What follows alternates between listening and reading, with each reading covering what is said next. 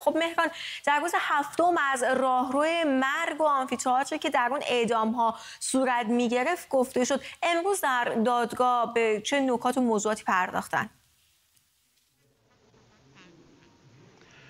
بله امروز آغاز روز هشتم دادگاهی حمید نوریه. در روز هفتم به زندان گوهردشت پرداخته شد به هیئت مرگ و یکی از شاکی ها صحبت کرد. امروز سومین روزیه که ایرج مستاقی به عنوان شاکی این پرونده صحبت می‌کنه و جواب سوال های قاضی زاندر و دادستان کارلسون رو میده.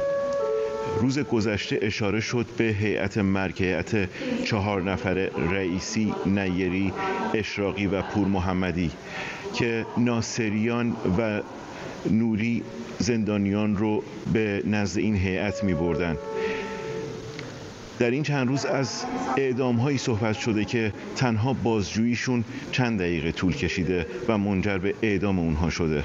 اما در این دادگاه نوری 86 روز دیگه باید حضور داشته باشه و محاکمش طول می‌کشه.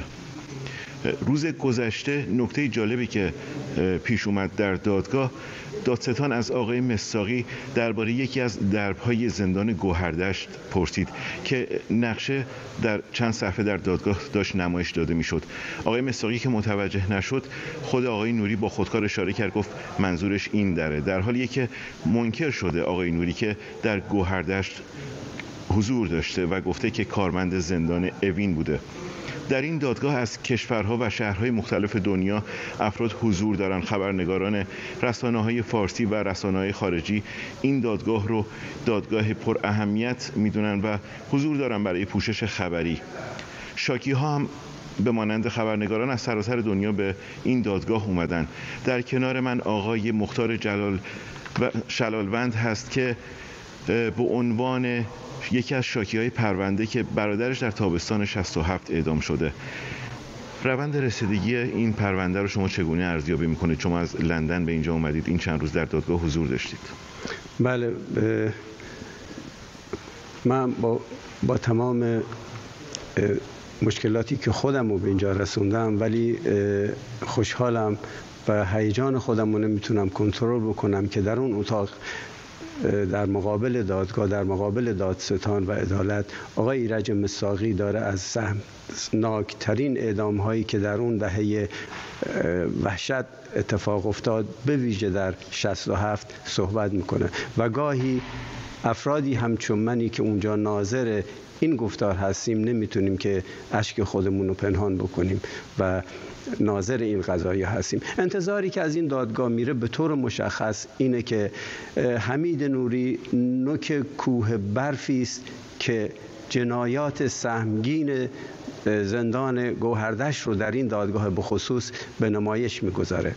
و ما انتظارمون این هست که به طور عمیق به اسامی هیئت مرگ دم دقیقه گفته میشه و اونا رو در مقابل این پرسش قرار بدهیم که به چه جرم اینا رو کشین. زندانی حکمدار رو که در روزهای آخر زندانیش رو میگذروند یا ماهای آخرش رو میگذروند کشتید کجا بردید چرا جسد و یا چرا مزار اونها رو به ما نگفتید چرا وسایای اونها رو به ما نشون ندادید. و این رو ما امیدواریم که روزی شاهد این باشیم که سایر این جانیان و این تبهکاران جمهوری اسلامی در مقابل چنین محکمه مستقل و عادلانی قرار بگیرن آقای شلالوند زمانی که برادر شما اعدام شد بعد از اون گفتن که به چه جرمی اعدام شده؟